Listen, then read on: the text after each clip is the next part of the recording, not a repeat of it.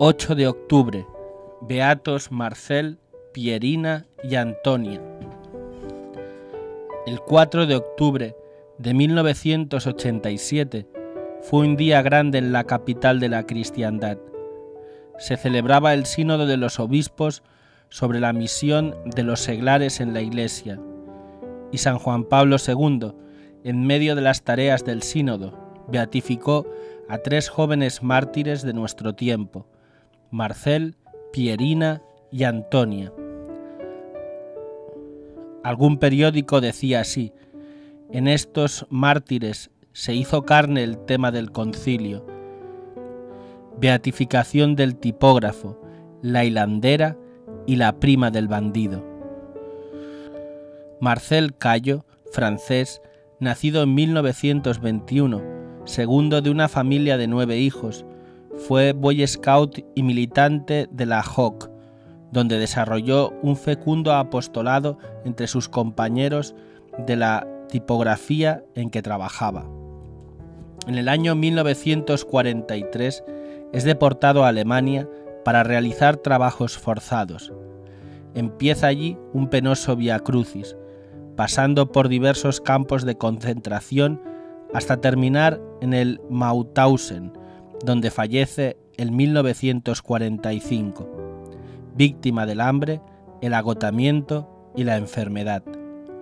Murió a los 24 años de edad cuando soñaba en crear una familia cristiana con su novia.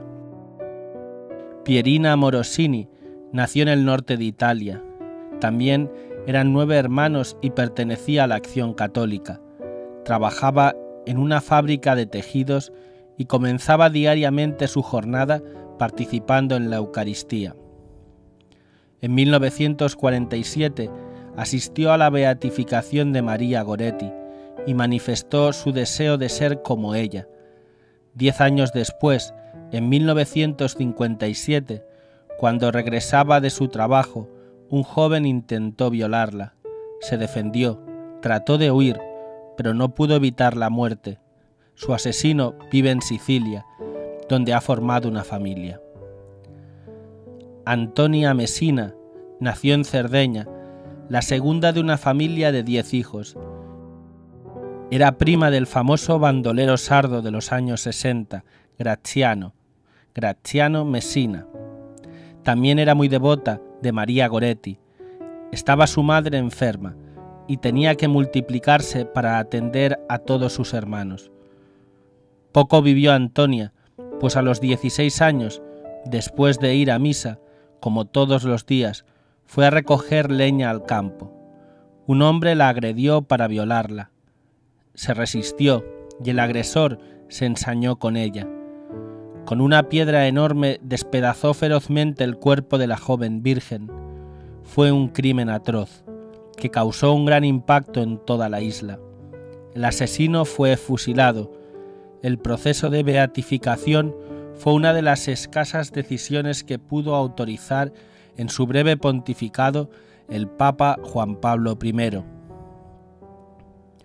Destacaba Juan Pablo II en la homilía de beatificación que los tres nuevos beatos se habían santificado sin ir al convento, a través del trabajo en casa y en la fábrica, en su ambiente normal, en la familia, en las asociaciones eclesiales, son laicos, son jóvenes, son mártires, decía el Papa, hijos de nuestro siglo, difícil pero apasionado.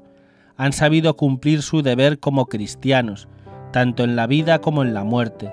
Nos muestran que la santidad no es un monopolio de obispos y sacerdotes, de fundadores y fundadoras, de religiosos y religiosas, ni de reyes o nobles del pasado. Su vida nos recuerda que más allá de la vocación específica de cada uno, hay una vocación común a todos, la vocación a la santidad. Es la vocación que tiene la primacía sobre todas. En la ceremonia estaban presentes la madre y los hermanos de Pierina, como sucedió cuando María Goretti. También había muchas parientes de Antonia. Un caso curioso ha sido el de su primo Graziano Messina. Condenado a cadena perpetua, ha declarado que estaba orgulloso de su pariente y que le hubiera gustado asistir a la ceremonia de beatificación. Otros santos de hoy son Sergio, Marcelo, Simeón, Pedro, Demetrio, Juan de Jesús, Lorenzo, Benedicta y Pelagia.